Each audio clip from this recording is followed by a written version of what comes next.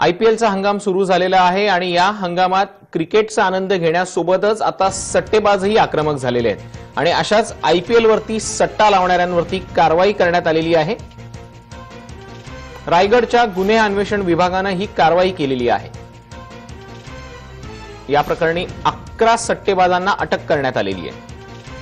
आयपीएलवर सट्टा लावणारे अकरा सट्टेबाज अटकेत आहेत. आठ वेगवेगळ्या ऍपचा यासाठी वापर केला जात होता.